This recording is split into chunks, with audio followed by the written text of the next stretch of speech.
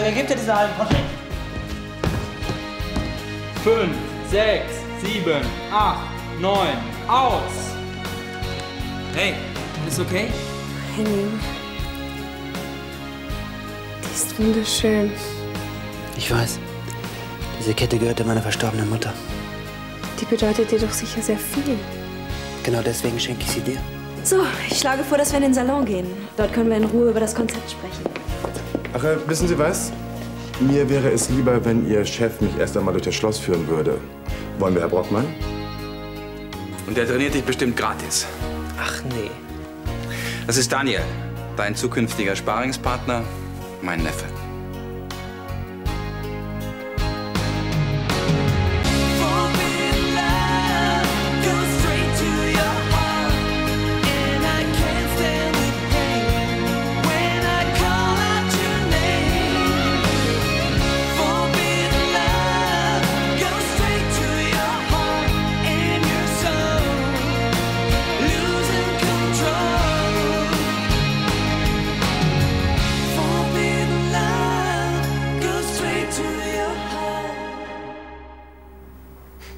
So sieht man sich wieder.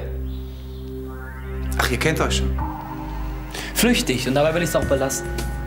Daniel hat die Amateurmeisterschaft im Leichtgewicht gewonnen. Also einen besseren Sparingspartner findest du nicht. Na komm schon. Nein. Dennis, warte doch! Was ist denn los? Sagen Sie, stimmt irgendwas nicht?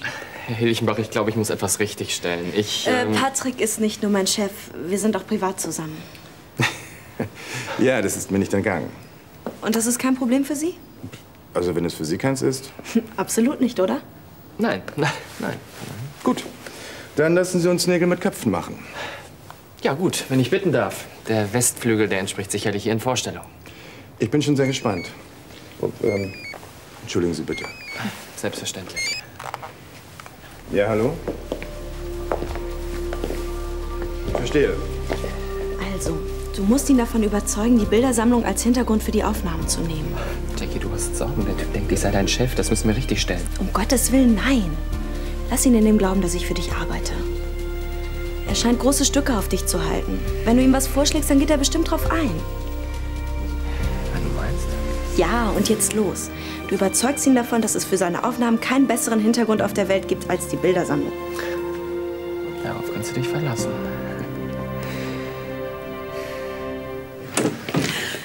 Was willst du mir denn zeigen? Abwarten. Mach's doch nicht so spannend. Augen zu. Aber dann sehe ich nichts mehr. Keine Widerrede. Also gut. Und nicht schauen. Ich versuche mich zu beherrschen. Augen auf. Und? Gefällt es dir? Es ist perfekt. Diese Linienführung. Die Natürlichkeit der Proportion.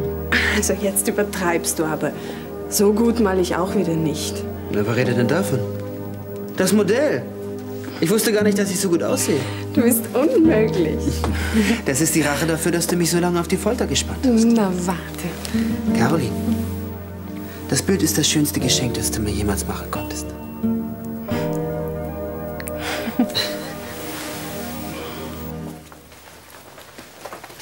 Langsam kann ich verstehen, weshalb Dennis sauer ist. Der Typ hat mich herausgefordert. Du hättest ihm sagen müssen, dass er keine Chance hat. Hab ich. Aber er wollte mir nicht glauben. Wie hast du es ihm denn gesagt? In aller Bescheidenheit. Du hast ihn auflaufen lassen. Ja. Und es hat mir tierisch Spaß gemacht, diesen Angeber auszuzählen. Du bist wie dein Vater. Was Sie nicht sagen, Hochwürden. Vorsicht, sonst muss ich dir mal eine Lektion erteilen im Ring. Welche? Wie man zu Boden geht und wieder aufsteht? Unterschätze mich nicht, ich bin gut in Form. Ja, ja. Keiner boxt wie du. Aber mal im Ernst. Wenn du so gut bist, warum trainierst du dann nicht, Ekel Dennis? Weil ich andere Verpflichtungen habe. Tja, dann übernehme ich die für dich. Du hast also während deines Sportstudiums noch Zeit? Ja. Aber nicht für Dennis. Na komm schon, der Junge ist okay. Das ist ein Schläger ohne Hirn. Möchte nur wissen, welcher Idiot den in den Ring gebracht hat. Ich. Tu mir einen Gefallen und unterrichte ihn. Okay? Ja. Aber erstmal nur probeweise. Nee, erwarte ich ja gar nicht.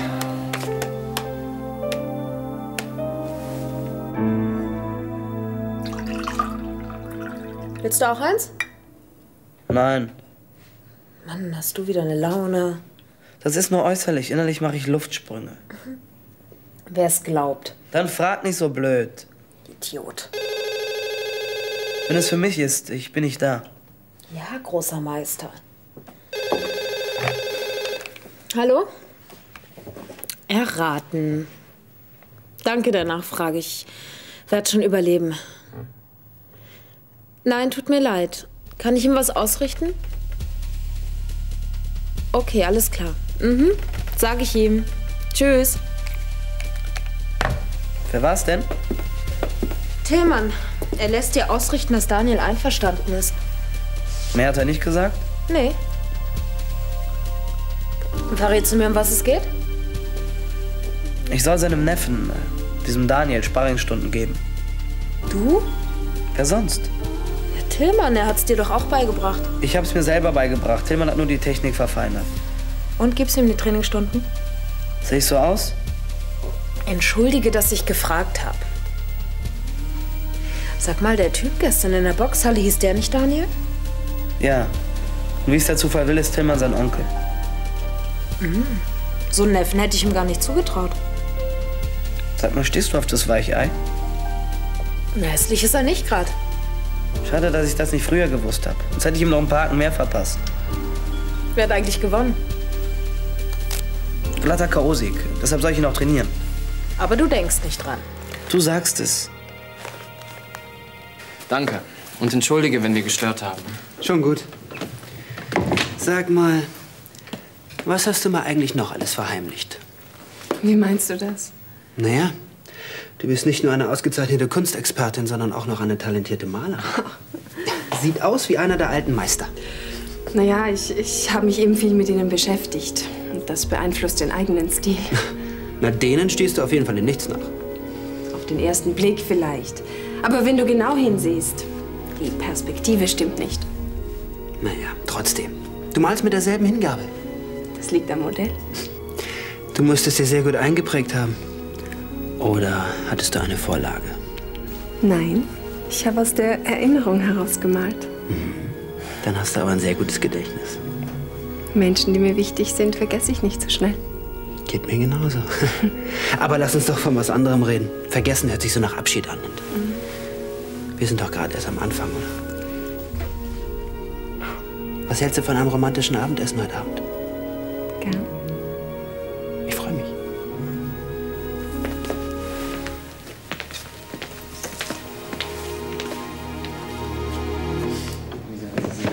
Da seid ihr ja. Wie hat Ihnen die Schlossführung denn gefallen? Also ich muss sagen, Herr Brockmann hat wirklich ein ausgezeichnetes Auge für stilvolles Ambiente. Danke. Herr Hilchenbach war besonders von meinem Vorschlag begeistert, die Bildergalerie als Hintergrund zu nehmen. Sagen Sie, wo nehmen Sie nur diese ganzen guten Ideen her? Das würde mich auch mal interessieren. Äh, Inspiration? Tja, den Seinen gibt's der Herr im Schlaf. So wird es sein. Wir bleiben in Verbindung und weiter so. Die Unterlagen lasse ich Ihnen wie besprochen zukommen. Das ist nett. Ich bin sehr gespannt. Bitte. Danke, ich finde den Weg.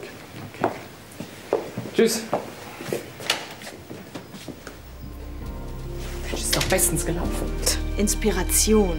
Jackie, was hätte ich dir machen sollen? Sagen, dass der Vorschlag von dir stammt? Im Übrigen war es deine Idee, ihn weiter glauben zu lassen, dass ich der Boss bin. Das gibt dir noch lange nicht das Recht, so dick aufzutragen. Das gehört dazu. Auch, dass du ihn so vollschleimst? Weißt du was? Mach deinen Kram alleine. Falls du den Ausgang suchst, der ist da. Und, wie ist es gelaufen? Bestens.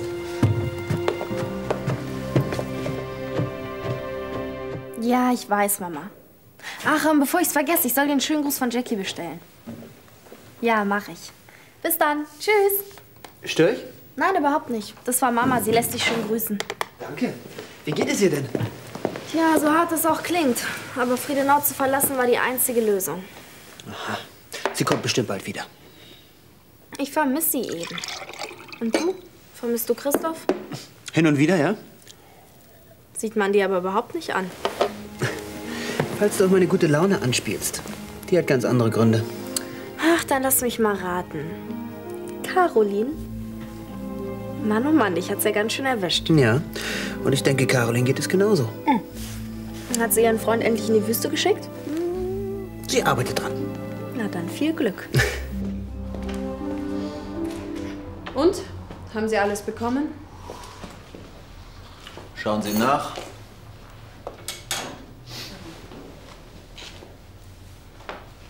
Damit könnten Sie die Mona Lisa fälschen. Wer sagt Ihnen, dass ich das nicht schon längst getan habe? Freut mich, dass wenigstens Sie zufrieden sind.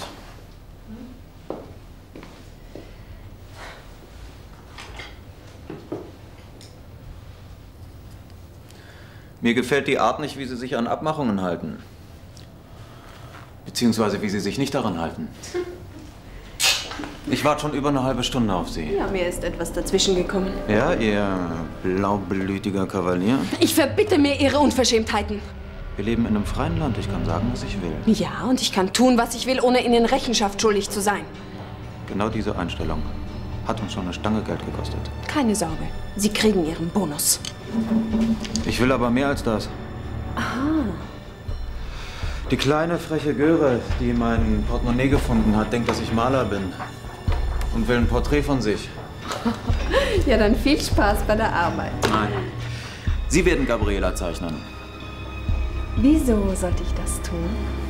Was würde Henning sagen, wenn Ihr Ex-Freund bei ihm auftaucht und ihm sagt, dass er die Finger von seiner Alten lassen soll? Er würde ihn rauswerfen lassen. Ja. Aber die Art und Weise, wie ich da auftauche, dürfte sie nicht gerade ins rechte Licht rücken. All die schmutzigen kleinen Dinge, die bei einer Trennung hochkommen. Wollen Sie Durchloch damit konfrontieren? Sie müssen ja ganz schön in der Klemme stecken, dass Sie mich so unter Druck setzen. Nein. Ich möchte nur verhindern, dass uns Gabriele auf die Schliche kommt. Und wie stellen Sie sich vor, dass das Ganze ablaufen soll?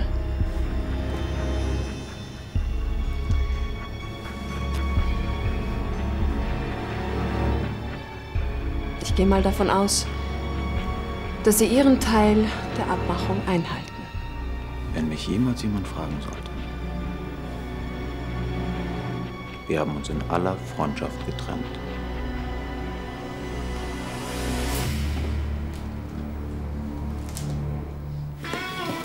Noch eine Cola? Lieber ein Alt. Ist es dafür nicht noch ein bisschen zu früh? Bist du meine Mutter? Hi. Darf ich? Wenn's sein muss. Ein Kölsch. Weißt was? Scherzkeks, du bist in Düsseldorf. Hier in Kölsch zu bestellen ist ungefähr wie in der Fankurve von Fortuna zu sitzen und FC zu brüllen.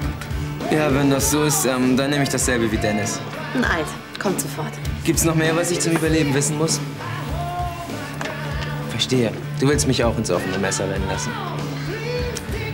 Okay, ich hätte dir sagen müssen, dass ich schon länger boxe. Aber angenommen, du wärst in meiner Situation gewesen, hm? Mal ehrlich. Hättest du dir die Gelegenheit entgehen lassen, mich K.O. zu schlagen? Was hältst du davon? Du zeigst mir, was in der Gegend so abgeht und ich bring dir ein paar Tricks im Ring bei. Sind die genauso schlecht wie die Nummer mit dem Kölsch? Psychologie Teil 1. Gib deinem Gegenüber das Gefühl, besser zu sein. Hallo. Hi.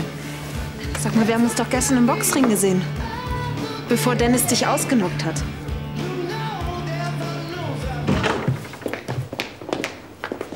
Jackie, lass mich durch. Erst, wenn du mir zugehört hast. Es tut mir leid, dass ich dich vorhin so angefahren habe. Aber erst Hilchenbach und seine Macho-Einstellung und dann spielst du dich noch auf wie der Oberchef. Das war einfach zu viel. Entschuldige mal, ich wollte ihm doch gleich sagen, dass du der Boss bist. Ach, jetzt lass uns doch nicht streiten wegen Hilchenbach. Ich habe nur das gemacht, was du gesagt hast. Ja, und du hast deswegen deine Jobsuche verschoben. Ich weiß. Und ich bin dir auch dankbar dafür, dass ich deswegen so einen guten Draht zu Hilchenbach gefunden habe. Ja, das merke ich. Ach, du machst es mir auch nicht gerade einfach. Ohne dich und deine Fähigkeit, Menschen von Ideen zu überzeugen, hätte ich es bestimmt nicht geschafft. Das sagst du ja jetzt nur so. Toll. Das denkst du von mir. Ach, Jackie, so habe ich es nicht gemeint. Sondern, Ich find's ja toll, dass du mich aufbauen willst. Aber wenn ich wirklich so genial bin, warum bekomme ich dann keinen Job? Warum überzeuge ich niemanden von mir? weil die letzte Ölung nun mal nicht gilt als Praktikum in der Wirtschaft. Ich kann viel mehr. Nur gibt mir niemand die Chance, es zu beweisen. Doch, Hilchenbach hat dir eine gegeben. Wenn du jetzt gut bist, dann empfiehlt er dich sicher weiter. Wenn ich Mist baue? Jetzt sei doch nicht so pessimistisch. Ich bin doch auch noch da. Nicht mal das traust du mir zu. Jetzt dreh mir doch nicht jedes Wort im Mund um. Du denkst doch, ich sei ein Versager, der alleine nichts auf die Reihe kriegt. Das ist es doch. So, hier dein O-Saft. Bitte. Was ich dich die ganze Zeit schon fragen wollte. Du hast recht, ich bin Solo. Das war es zwar nicht, aber gut zu wissen. Wie lange boxst du eigentlich schon? Seit ich denken kann. Oh, Boxer und Denken. War das nicht ein Widerspruch? Ja, genauso wie Frauen und Autofahren. Okay, der Punkt geht an dich. Können wir vielleicht über was anderes reden? Wieso? Mich interessiert das Thema. Oder ist es dir unangenehm, weil du gegen Daniel gewonnen hast? Ja, gegen Dennis pfeilschnelle Rechte konnte ich trotz jahrelanger Erfahrung im Ring nichts ausrichten. Mhm. Und deshalb willst du auch, dass er dich trainiert? Das habe ich dir doch lang und breit erklärt. Ein guter Sparringpartner ist die halbe Miete. Und was machst du sonst so?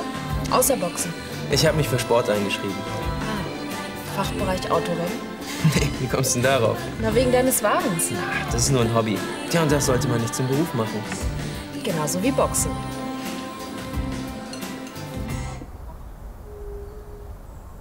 Kann ich sonst noch was für Sie tun?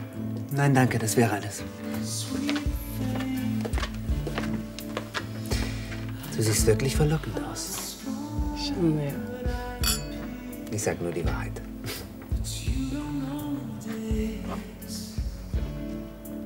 Wenn wir gerade dabei sind, ich muss dir auch noch etwas sagen.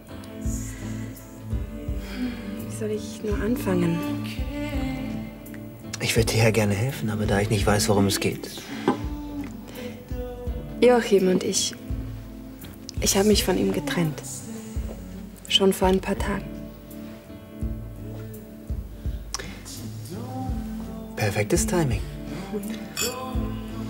Oder hängst du noch an ihm? Ganz und gar nicht. Und jetzt, lass uns tanzen.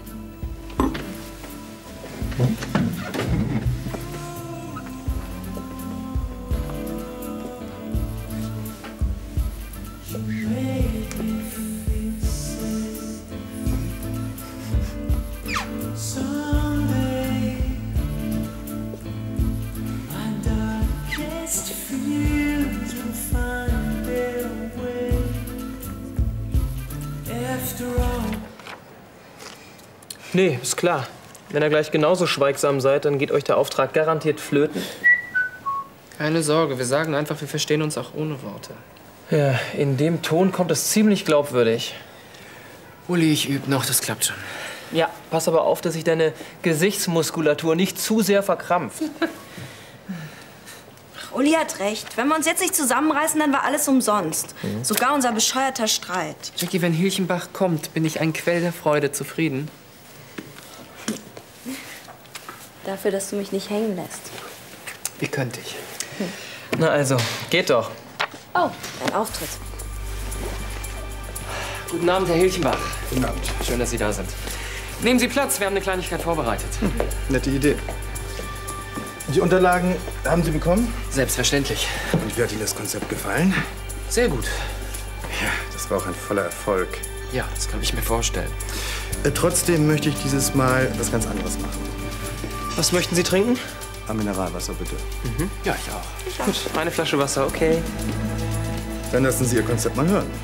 Also, wir haben uns gedacht, wir sollten das Shooting auf den Bildersaal konzentrieren. Ja, soweit äh, waren wir ja schon. Ich weiß. Wir sollten aber auch die anderen Bereiche von Friedenau, wie den Park und die Stallung, mit einbeziehen. Entschuldigen Sie, Herr Brockmann, aber ich möchte in erster Linie die Mode präsentieren, nicht das Schloss. Genau darum geht es. Wir stellen uns eine Art Fotostory vor. Hauptdarsteller ist ihre Mode. Eine Fotostory. Aha. Ja. Gratuliere. Sie haben nicht nur eine fähige Assistentin, Sie haben auch den Auftrag. Da komme ich ja genau im richtigen Moment. Lass mal stecken. Geht auf mich. Oh, danke. Viel Spaß im Fitnesscenter. Werde ich bestimmt haben. Tschüss. Danke, dass du dich gehalten hast. Ja, bedank dich nicht zu früh. Im Ring gibt's dafür eins auf die Mütze. Es bleibt doch dabei, oder? Klar, von mir aus können wir gleich los. Ah, aber ich darf noch eben austreten. Kein Problem. Dann studiere ich dich halt erstmal im Sitzen. Und? Zu welchem Ergebnis bist du gekommen? Dass auch du nicht unschlagbar bist. Ich habe sogar deinen Onkel mal schlafen geschickt. Du hast Tillmann K.O. geschlagen? Mhm. Früher wäre ihm das nicht passiert. Wieso war er so gut? Ja, ich habe viel von ihm gelernt. Er war es auch, der mich zum Boxen gebracht hat. Lass mich raten. Du hattest Probleme, deine Aggressionen im Zaum zu halten. Besonders meinem Vater gegenüber. Wir sind nicht immer einer Meinung. Kommt mir bekannt vor. Ja, Tillmann meinte, dass das Boxen mir helfen könnte. Ich sollte lernen, nicht wegen jeder Kleinigkeit gleich auszurasten. Hat das was genutzt? Überzeug dich selbst.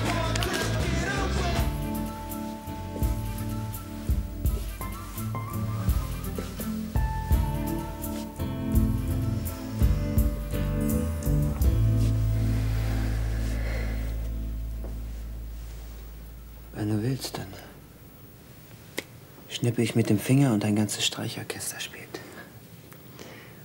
Wozu brauchen wir Musik? Stimmt. Wozu eigentlich? Hm? Die Musiker würden ja sowieso nur stören. Caroline. Ich. Ich. Besser, ich. Ich gehe jetzt.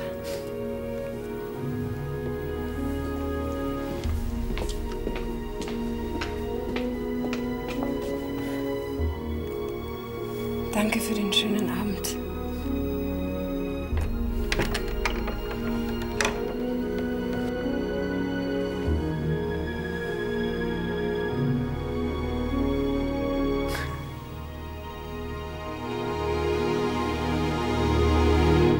Schön, dass wir uns so schnell einig geworden sind. Bedanken Sie sich bei Herrn Brockmann. Sein Werbekonzept war wirklich überzeugend. Der Champagner. Tut mir leid, aber ich muss mich leider verabschieden. Wollen wir nicht noch gemeinsam anstoßen? Ich würde sagen, das holen wir nach, wenn wir den Vertrag unterschreiben. Gut. Ich melde mich dann bei Ihnen und wir vereinbaren einen Termin. Warum passiert mir sowas nie? Nick bedient die Kunden, verkauft alles und ich brauche nur noch das Geld zu zählen. Irgendwas machst du falsch. Ja. Wirklich gute Arbeit. Danke. Aber eigentlich war es Jackies Verdienst. Sie hatte den kreativen Input. Und du hast die Verhandlungen geführt. Ihr seid eben ein gutes Team. Habt ihr denn nicht noch Lust, weiter gemeinsam an dem Auftrag zu arbeiten?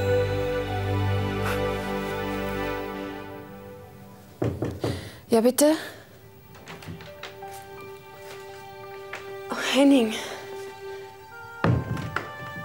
So abrupt können wir den Abend unmöglich enden lassen. Bitte. Wir sollten nichts überstürzen.